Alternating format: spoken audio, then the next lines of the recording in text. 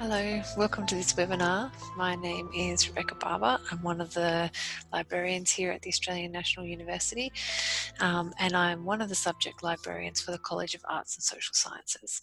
And this session will be showing you how to find um, online information through the library's homepage. So first of all, um, I'd like to talk about how you access the library's resources when you're off campus. So you need to log in using your student number and your password. It's the same one that you use to get into Wattle or into um, ISIS. And when you access the library's resources, if you click on the link to an ebook or to an e-journal, you'll be prompted to log in if you're off campus. Um, and this will authenticate you as an ANU student and you can access our resources. Now, if you're having problems with this logon or with your password or your student number, you can contact the ANU IT uh, service desk and they can reset your passwords and fix any problems that you might be having. Um, I'm going to share my screen with you now. I'll show you where to go to get help with that. Um, so here we go. Here's the ANU's homepage. I'm sure you've seen this before. Um, anu.edu.au.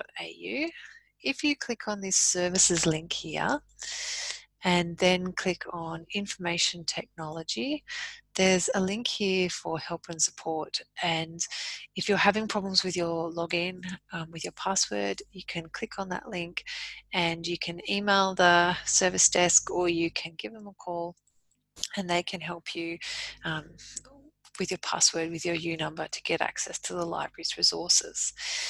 Okay, so I'm going to go back. I'm going to go to the library's homepage now, and there's a link here up the top in the banner to the library. If you click on that, it takes you to our homepage. Now, if you want to, you can log into um, the library's resources now before you start searching. To do that, you go to Find and Access here at the top, and then e-resources and databases.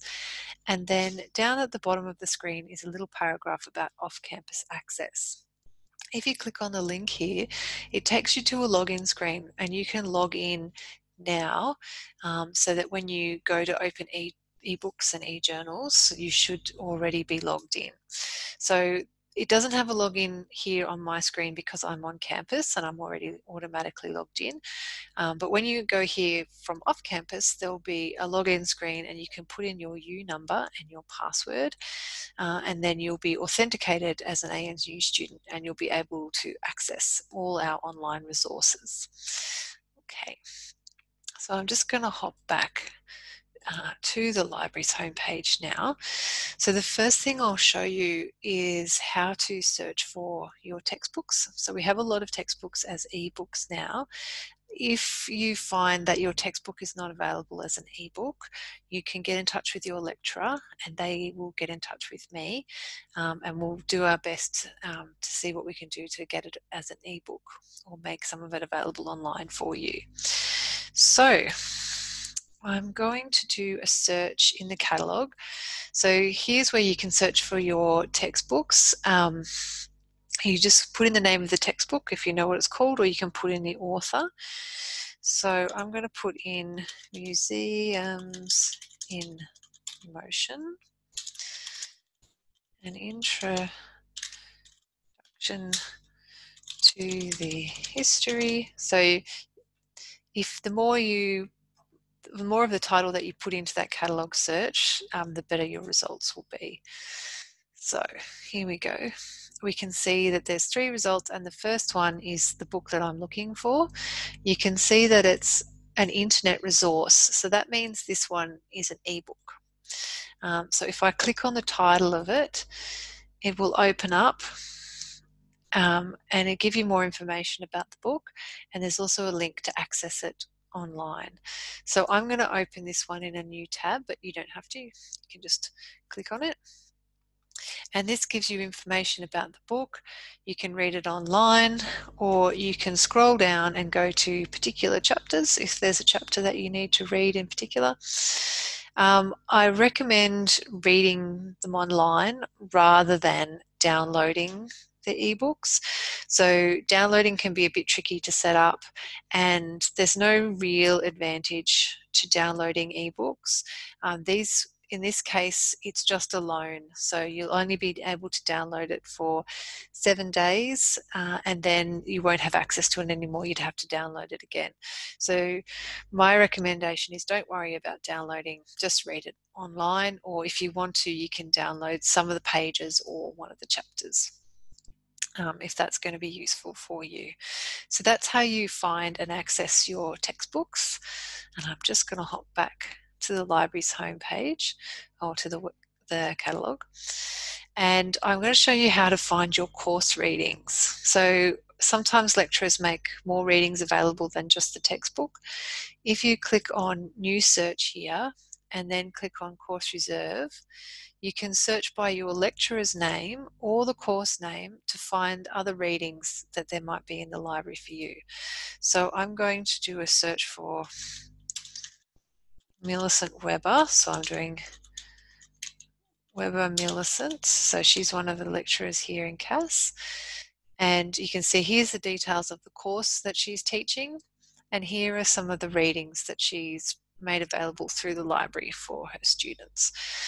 Um, so you can search by your lecturer's name or your course name, and you can also search by your course code if you want to as well. So if I put in SOCY 2040. Um, the course code will also find the courses as well and you can see here's all the readings um, for classical social theory. So the next thing I'm going to show you is our subject guides. Um, so I'm going to go back to the library's homepage by clicking on library up in the banner and I'm going to scroll down the page um, and under library information is this link to the subject guides. So if I click on that, the first link, which is Arts and Social Sciences, are where all the guides are that support CASS subjects. So you can see there's a lot of them here. So you go to the one that's for your subject area and go in and have a look. And in these guides, um, all kinds of different information sources that you can access to get you started um, with researching your assignment topics. So we're going to hop into the anthropology guide and have a quick look. So all the guides are organised um, in a fairly similar way. They all have these tabs down the left hand side with different kinds of information sources that you can use to write your assignments. So first up there's reference sources. So that includes things like dictionaries, handbooks and encyclopedias. So these are a good place to start with a topic because they give you definitions, they give you the background of a topic, they tell you how the topic has developed over time, who the important researchers in the field are, um, and they're a good place to sort of get that background understanding of the key concepts of a topic. So they're worth looking at. There's also a tab for books, so there's tips for searching the catalogue. Um, there's some subject headings that you can click on.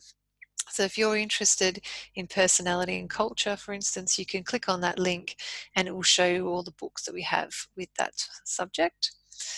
There's also a databases tab. So in this case, the databases are big online collections of journal articles, conference papers, newspaper articles, um, theses, all kinds of things. With anthropology, there's also um, primary sources, so people's field notes and things like that.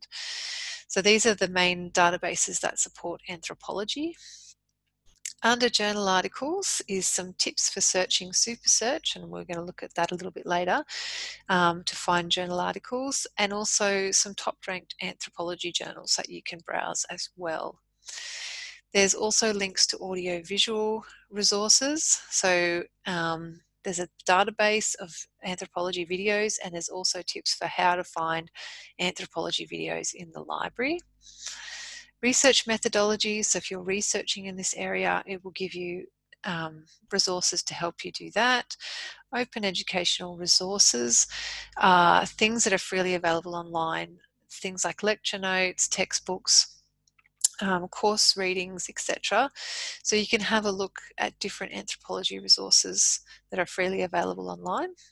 There's also a link for finding theses, um, for requesting resources. So if there is something that you need um, that the library doesn't have access to, you can use these options to try and get access to them.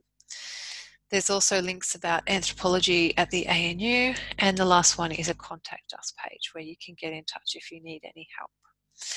Alrighty, I'm going to go back to the library's homepage now and I'm going to quickly show you how to use Super Search to find online resources. So we're going to do a search for language acquisition in infants. So if you need to find information resources to do your assignment, to write your essays, you can search in Super Search. It's um, the search box searches all of our databases. It searches the catalog. It searches our online repository or research repository. So there's a lot of information in Super Search. You can see we've found 139,000 results. That's a lot. So we're going to narrow that down a little bit now. So while you're off campus, you might want to click on this full text online uh, limiter and that means that all the results here will be available online and you can access them from wherever you are. So that's a useful limiter.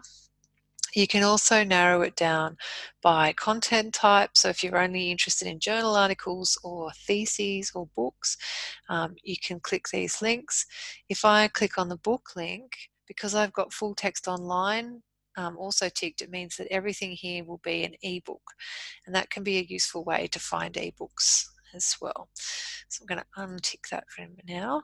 Um, you can also limit it by the publication date. So if you've been told by your lecturer, only look use information sources from the last five or 10 years, you can put the date range in here and then you'll only get the most recent resources. Okay. Um, I'm going to click on journal articles now so that everything in here uh, will be a journal article. You can read the abstract or see more information by clicking on preview. Um, it shows you more about the article so you can see here there's the abstract for this article, so it's like a summary, and you'll be able to tell by reading the summary uh, if it's going to be useful for your assignment or not. If you decide it is going to be useful, you can click on the full text online link here, or you can click on the title of the article, and then it will open it in the database where that article uh, is housed. So this one's opened in our Science Direct database. It's given us the full text here um, and you can also download the PDF if you want to and then you can save a copy of this article on your computer. It's also given you some recommended other articles in this database so you might like to have a look at those. Okay. So that's a very brief introduction about how to find online resources through the library. Um, if you need any help, if you have any questions at all, please do get in touch with with us. Um, if I go back to the library's homepage and click on About, there's a link here that says for contacts and feedback. If you click on that, you've got some email addresses up here you can use to get in touch with us. There's a, a phone number here if you want to give us a call, and we'll do our very best to help you with um, whatever problem you might be having or to help you find other information. So here are the two contacts for the arts and social sciences. So I'm the top here, Rebecca Barber, and my colleague Jackie Kempton is the other contact for the College of Arts and Social Sciences. So you can see our areas of expertise here. Um, so whatever you're studying, whether it's Jackie or I, you can send us an email or give us a call, and we'll do our very best to help you with it, whatever problems that you might be having.